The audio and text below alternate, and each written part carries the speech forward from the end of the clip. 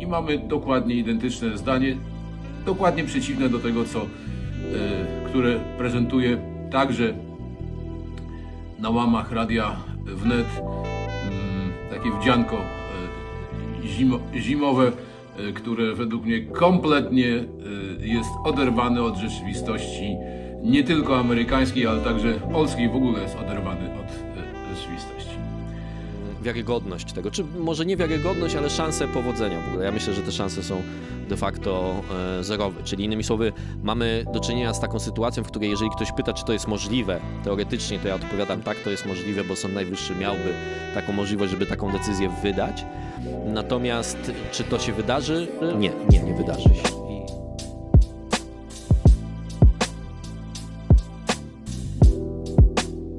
Jak obudziłem się dzisiaj w... podszedłem do komputera i otworzyłem, otworzyłem wiadomości, to e, no, humor, który miałem wczoraj naprawdę wieczorem, mm, bardzo dobry, z różnych tam powodów, e, wyparował. No. I kto miał rację? Witajcie, kochani brawi. Dzisiaj oczywiście zajmiemy się decyzją Sądu Najwyższego. Pozwolę sobie na kilka refleksji o całym tym e, procesie, z którym e, mamy do czynienia, a oprócz tego powiem, dlaczego e, w sensie prawnym, jakimkolwiek innym, ten proces jeszcze się nie zakończył, chociaż oczywiście szanse Trumpa na prezydenturę no już bardzo są bliskie zeru. Ale zanim to oczywiście zrobię, chyba nie ma lepszego dnia na to, żeby zasubskrybować kanał e, Korzuszek e, z Zaszafy. Ja oczywiście szanuję wszystkich, nigdy nie hejtowałem pana Beckera czy innych panów, którzy mnie hejtowali.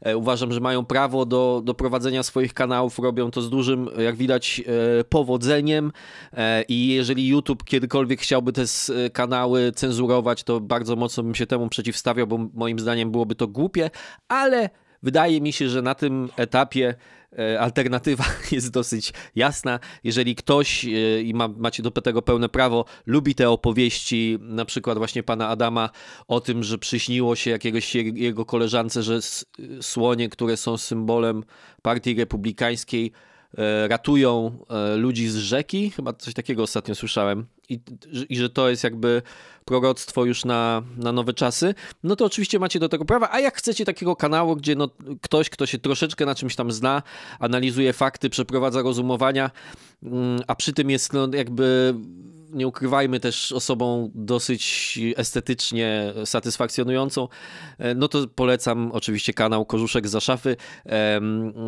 Dziękuję oczywiście wszystkim tym, którzy już subskrybują. Pamiętam o was wszystkich, tych, którzy byli na piętrze najniższym budowy tego, tej, tej wielkiej budowli, którą stanie się, mam nadzieję, ten kanał. A teraz przechodzimy do rzeczy.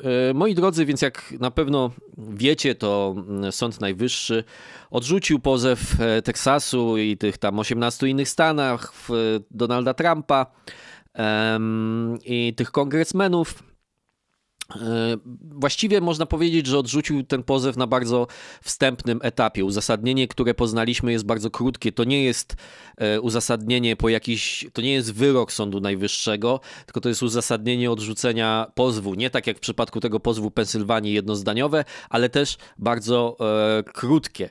To, co jest bardzo ciekawe w takim sensie politycznym, to że dwóch sędziów, którzy wyrazili pewien sprzeciw wobec tej decyzji, ale za chwilę o tym powiem jaki, ale samo w sobie jest ciekawe to, że byli to sędziowie Justices Alito i Clarence Thomas, czyli uznawani za konserwatystów, ale nie nominowani e, przez Trumpa. Żaden z tych um, rzekomych lojalistów Trumpa do tego sprzeciwu się nie dołączył. To, co powiedział Alito i to, co powiedział Clarence Thomas, to, że według nich original jurisdiction, to o czym mówiłem, czyli oryginalna jurysdykcja e, Sądu Najwyższego była wystarczająca E, do tego, żeby przyjąć tą sprawę, co w sensie prawnym moim, ja bym się chyba z nimi zgodził, że rzeczywiście tak jest, że ta sprawa powinna być przyjęta i powinna może zostać rozpatrzona. Natomiast to, o czym e, wiele osób jakby nie mówi czy zapomina, to to, że oni też dali do zrozumienia, że mimo tego, że są zwolennikami przyjęcia e, tej sprawy przez Sąd Najwyższy, to jednocześnie dali jasno do zrozumienia, że są przeciwnikami, nie udzieliliby żadnego z tych reliefs, o które prosili mm, ci, którzy którzy ten pozew złożyli, czyli nie, nie, nie zdecydowaliby się w żadnym wypadku na unieważnienie wyborów w Pensylwanii, Wisconsin, Georgii i Michigan. Czyli innymi słowy, no, tak czy inaczej ta sprawa jest e, martwa. Donald Trump powiedział, że się bardzo zawiódł. No już są rozważane e, następne e, scenariusze.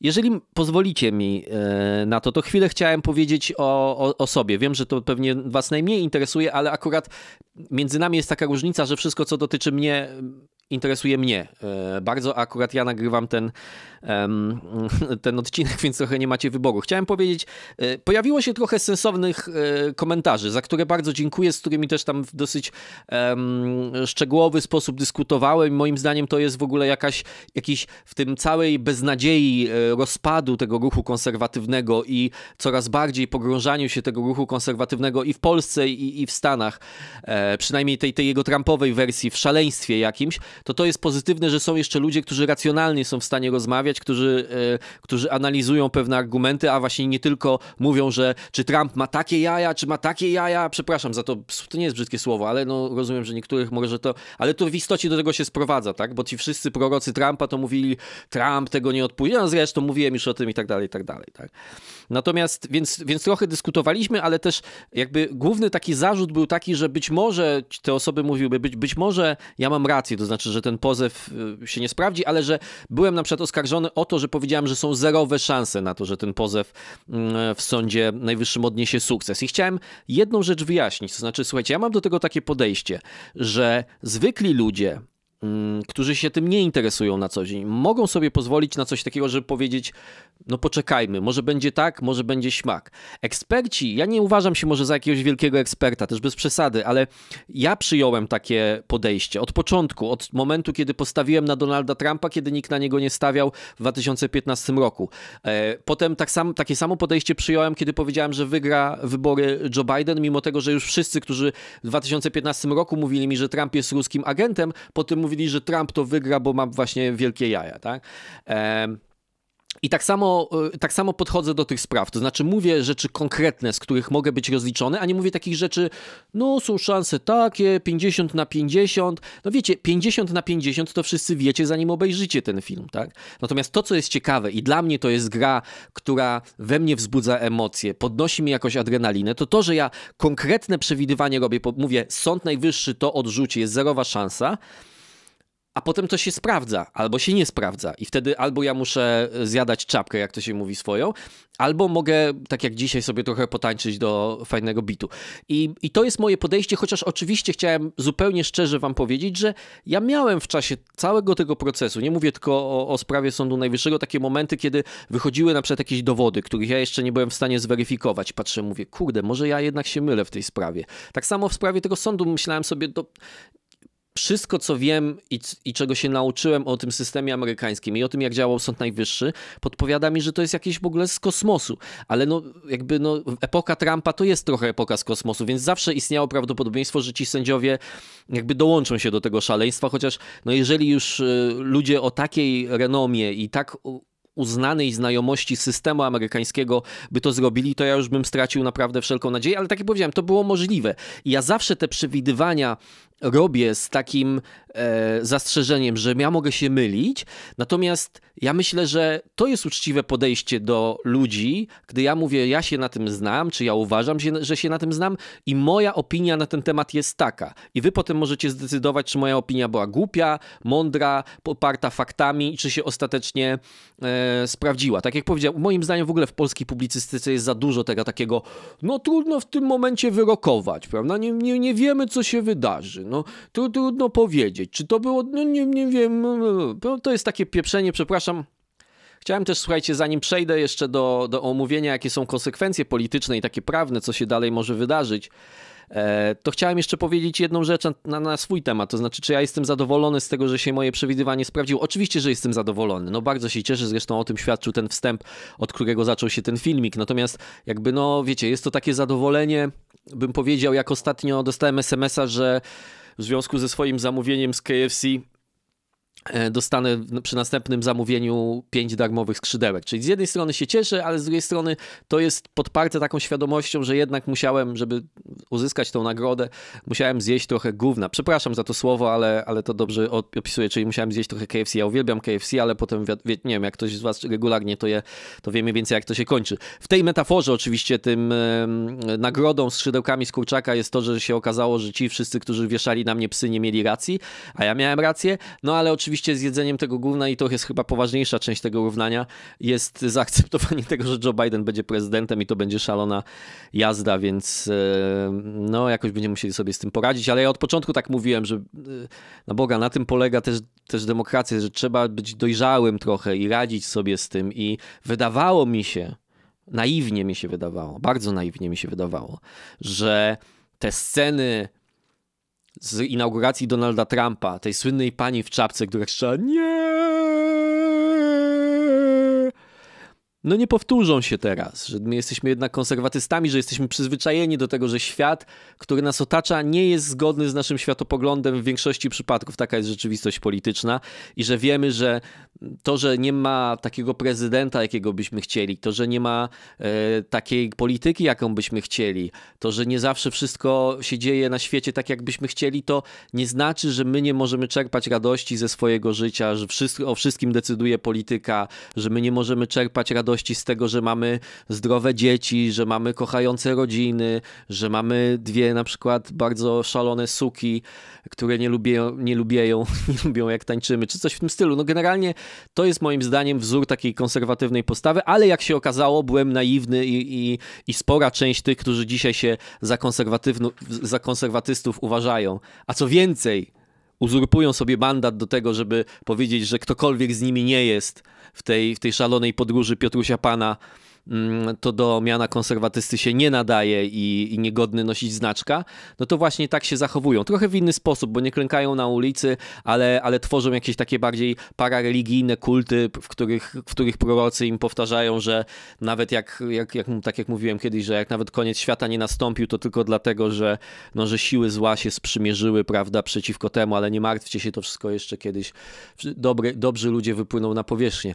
No, to jest trochę błędne rozumienie, znaczy błędny, nie trochę błędny. To jest, to jest głupie rozumienie polityki, bo ja mimo wszystko uważam, że polityka, mimo tego, że ci ludzie są często przestępcami, czy mówię o demokratach chociażby w Stanach Zjednoczonych, że ci ludzie są nieuczciwi, że ci ludzie, ich pomysły nawet realizowane w dobrej wierze mogą doprowadzić do strasznych konsekwencji, ale mimo wszystko ja wierzę, że to jest polityka demokratyczna, że to nie jest walka dobra ze złem, taka manichejska i, e, i wywracanie stolika za każdym razem, kiedy efekt gry nam się nie podoba, jakby mm, no, jest sprzeczny z założeniami w ogóle systemu amerykańskiego, który moim zdaniem jest genialny. I to też pewnie nagram taki film, w którym będę starał się opisać to, że moim zdaniem wcale ten, w, tej, w tej wyjątkowej sytuacji tego chaosu, tych intencjonalnie czasem wprowadzonego chaosu przez demokratycznych polityków, umówmy się, w tych próbach fałszerstw i chyba fałszerstwach realnych, ten system amerykański sprawdził się nieźle, posiadający wiele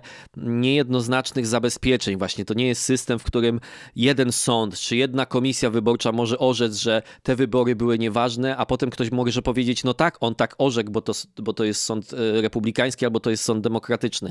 Rozproszenie tego systemu na Stany, sama zasada federalizmu, moim zdaniem, genialnie się sprawdziła w tej sytuacji.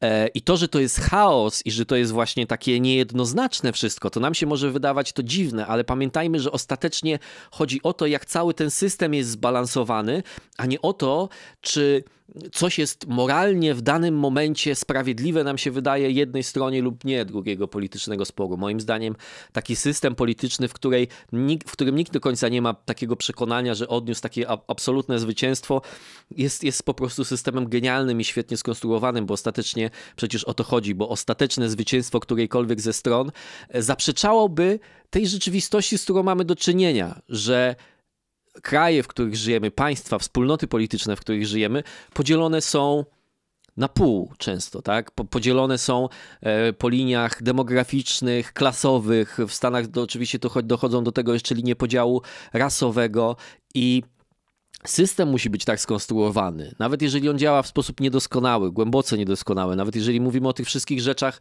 e, dotyczących e, tego, jak chociażby Big Tech, wielkie firmy z Doliny Krzemowej e, cenzurują opinię publiczną i tak dalej, i tak dalej. Natomiast ten system nie może być systemem, w, których, w którym jedna połowa może e, skutecznie e, pozbawić drugą połowę ich praw obywatelskich, nie tylko nie tylko wyborczych.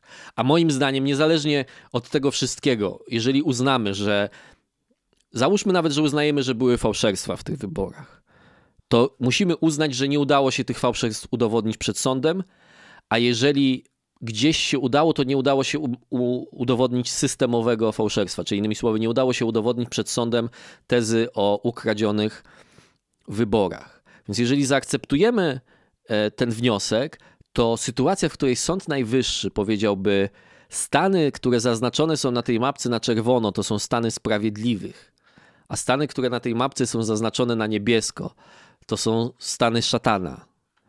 To, to byłby dzień, w którym skończyłyby się Stany Zjednoczone. Jeżeli, ktoś, jeżeli ktokolwiek uważa, że taki wyrok byłby jakąś sprawiedliwością dziejową i, i czymś, co, co, co w ogóle można określać takimi słowami jak dobro, prawda, właśnie sprawiedliwość, no to moim zdaniem jest w głębokim błędzie i, i, i, ten sposób plemienny postrzegania polityki jakoś głęboko wpłynął negatywnie na, na waszą umysłowość. A, a tak mówiąc szczerze, to moja diagnoza tego wszystkiego jest taka, że to jest i wielka zasługa Donalda Trumpa, że przyciągnął do polityki, także w Polsce, do polityki amerykańskiej, ludzi, którzy wcześniej się nią e, nie interesowali i to jest wspaniałe moim zdaniem i ja zawsze tego, tej, tej jego, tej części jego dorobku będę bronił, ale z drugiej strony to jest taka konsekwencja tego, że ci ludzie nie rozumieją, że Donald Trump działał w systemie, który konsekwentnie był budowany przez, no już w tej chwili można powiedzieć, przez setki lat, prawda? Czyli od momentu uchwalenia konstytucji poprzez całe prawda,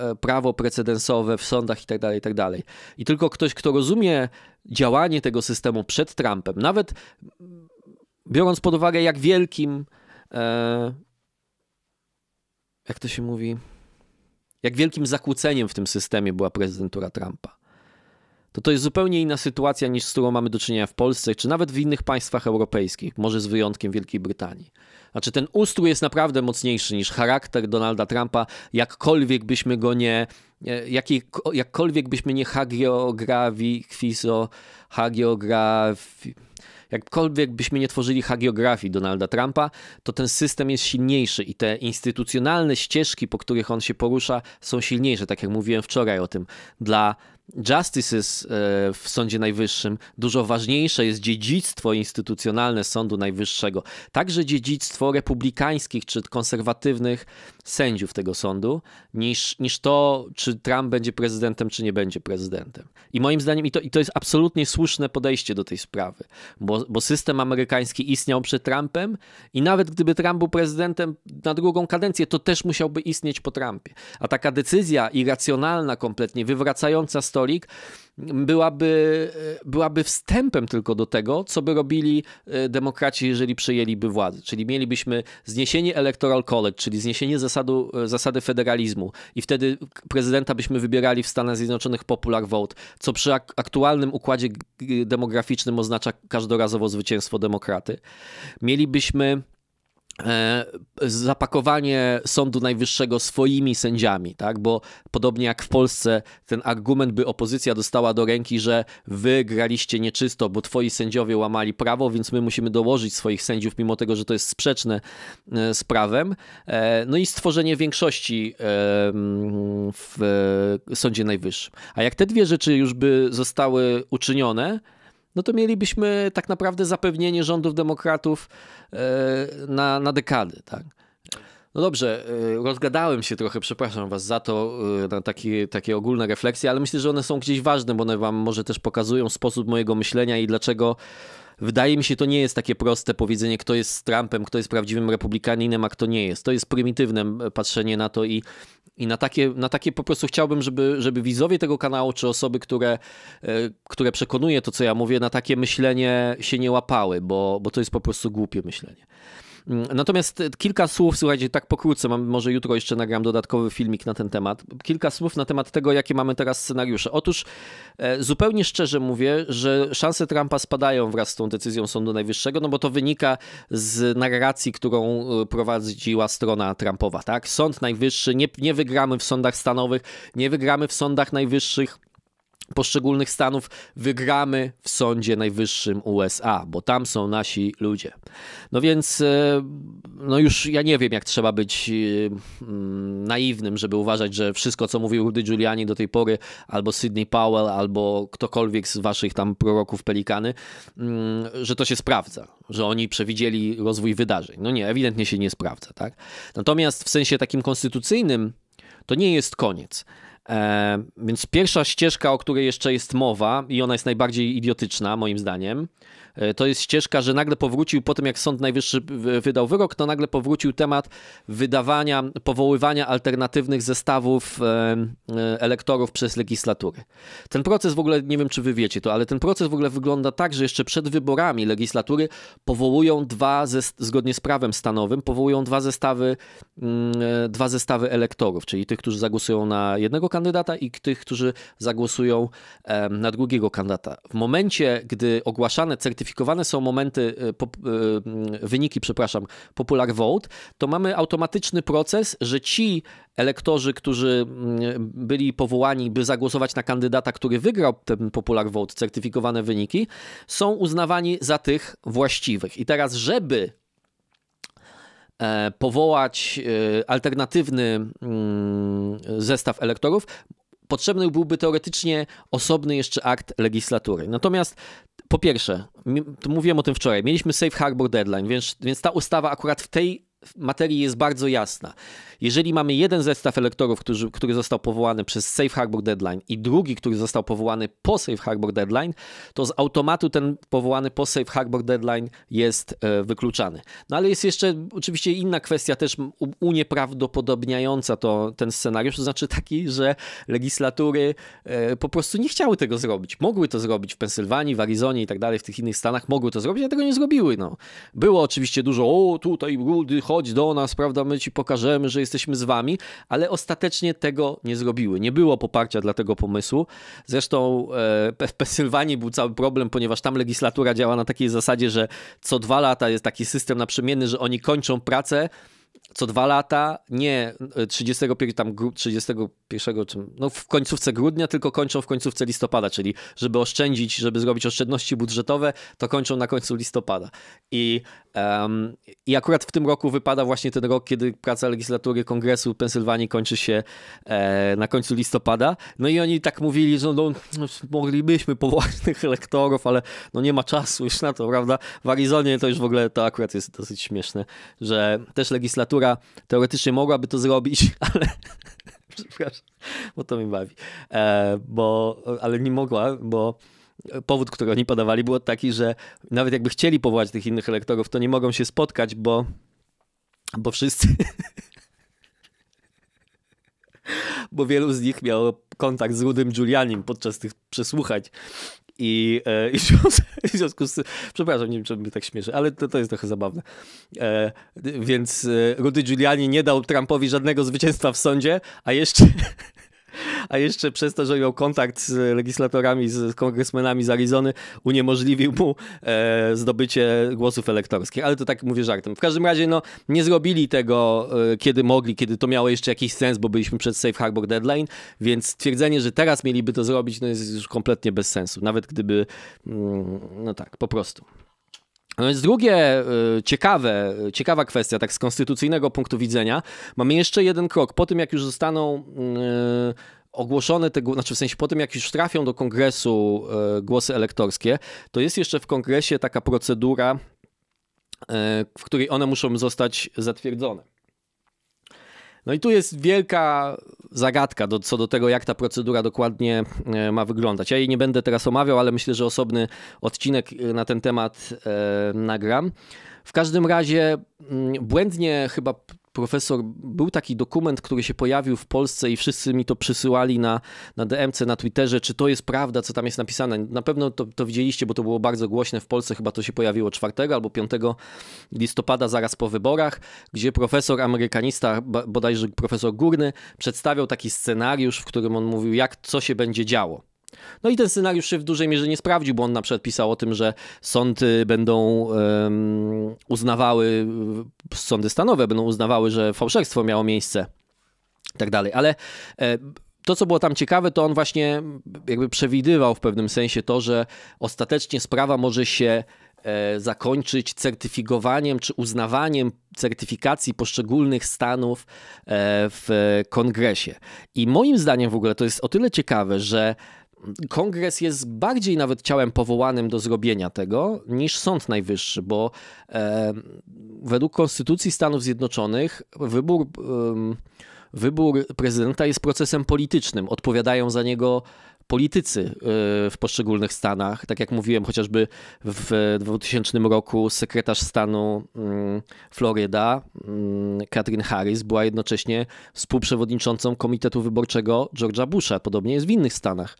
I, I to też jest przykład tego, że zwolennicy Trumpa patrzą na takie oczywiste fakty z punktu widzenia amerykańskiego ustroju i mówią, jak to demokraci rządzą w Detroit, albo jak mamy ufać gubernatorowi. No, no jakby, no oczywiście nikt wam nie każe nikomu ufać, może to jest słuszne, tylko że no tak, tak działa po prostu amerykański ustrój, tak jest, tak jest skonstruowany, więc e, do takiej decertyfikacji na poziomie federalnym chyba bardziej powołany jest kongres niż Sąd Najwyższy, bo Sąd Najwyższy i w ogóle sądy niechętnie angażują się tradycyjnie w Stanach Zjednoczonych w spory wyborcze. Wolą, żeby te spory były rozpatrywane na przykład na poziomie śledztw prowadzonych przez election officials, czyli w przypadku na przykład na poziomie stanowym przez sekretarzy e, stanu. Natomiast to, co e, było...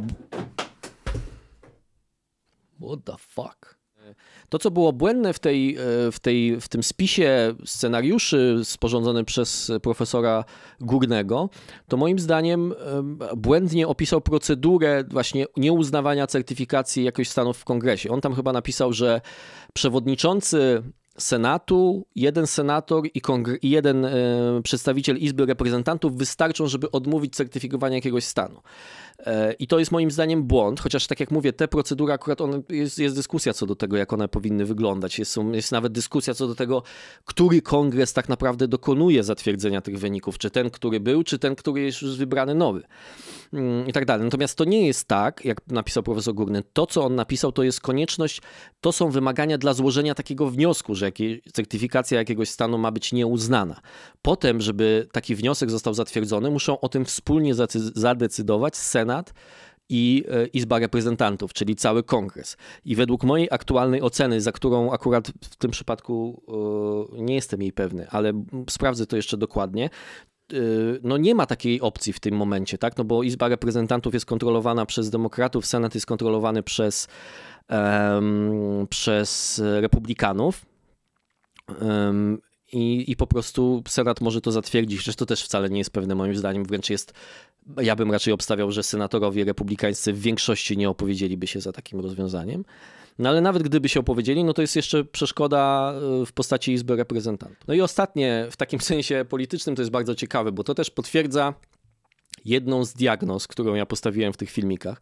Mówiłem o tym, że mm, kwestia kontestowania wyborów to nie jest tylko problem Trumpa, że my w ogóle wkroczyliśmy w wiek czy w e, erę kontestacji wyborów i że już mieliśmy do czym, do, z tym do czynienia w 2016, 2000, 2016 roku. Podawałem przykład e, niedoszłej gubernator Georgii, właśnie Stacey Abrams, która też przez DNC była uznawana za prawowitą gubernator Georgii, której ukradziono wybory. Więc jakby nie można tego wszystkiego zrzucać na Trumpa. Trump oczywiście do tego dołożył swoją specyfikę, swoją retorykę, swój sposób komunikacji.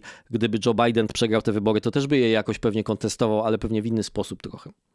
Natomiast e, to, co jest ciekawe, to to, jak e, to, co robią teraz republikanie, właściwie e, podąża tą samą ścieżką w niektórych przypadkach, którą kroczyła Hillary Clinton. I jeden z tych scenariuszy, który już moim zdaniem już jest takim scenariuszem na czasy trudne, czyli na czasy prezydentury Joe Bidena, to jest powołanie tak zwanego Special Counsel czyli odpowiednika zespołu Roberta Millera, czyli tak zwanego Russian Probe, czy Russian Collusion Probe, e, który właściwie Trumpowi towarzyszył przez całe 4 lata prezydentury i no właściwie przeprowadzono wobec niego przecież całą procedurę impeachmentu, która oczywiście nie została zakończona, ale, ale no już zaszła na dosyć daleki etap.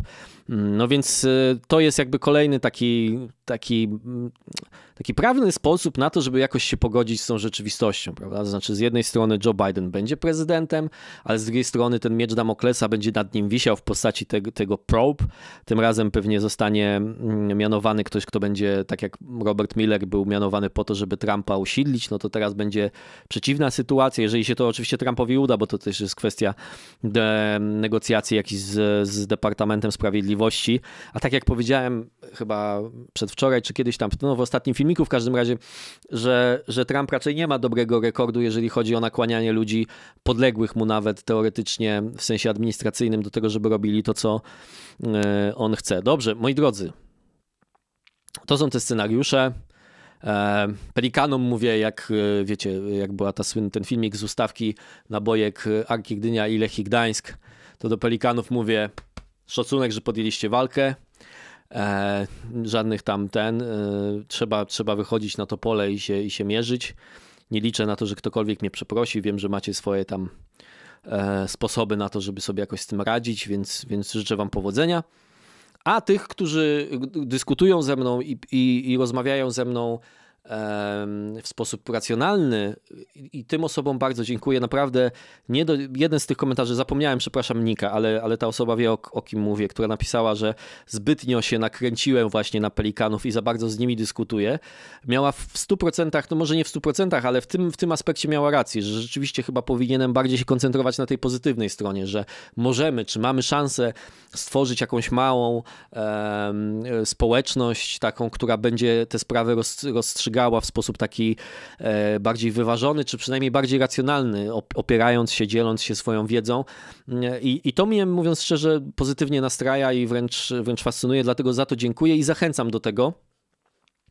Jeszcze już na tam, i tak ten film będzie strasznie długi, więc już mam to w dupie. Przepraszam. E, e, chciałem Was poprosić, bo chciałbym uczciwie się też odnosić do tych wszystkich spraw, więc chciałem Was poprosić, jeżeli oczywiście macie na to ochotę i czas, mm, żebyście w komentarzach wpisywali te fałszerstwa, które należałoby omówić, bo oczywiście ja wszystkich doniesień o fałszerstwach nie omawiałem, e, niektóre z nich dyskredytowałem, niektóre falsyfikowałem, te, które można było. Natomiast patrząc na ten proces uczciwie, to nie jest tak, że udowodniono, że żadnych fałszerstw nie było.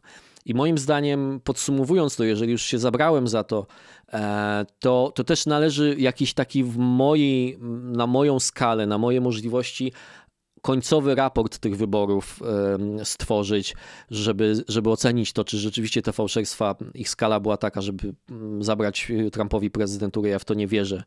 Mm, ale czy w ogóle, że były jakieś fałszerstwa, takie zdecydowanie udowodnione i fałszerstwo we właściwym sensie tego słowa, a nie nieprawidłowość na przykład proceduralna, i, i, I jak będziecie wpisywać te przypadki, czy te doniesienia, o których słyszeliście, to, to taką listę y, stworzymy i pewnie w kilku odcinkach to będzie trzeba rozbić, bo tego było mnóstwo.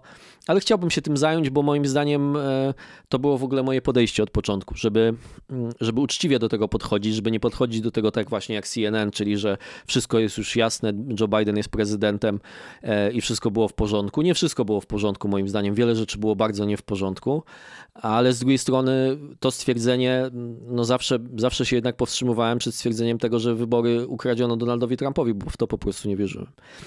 Dziękuję, subskrybujcie, pozdrawiam.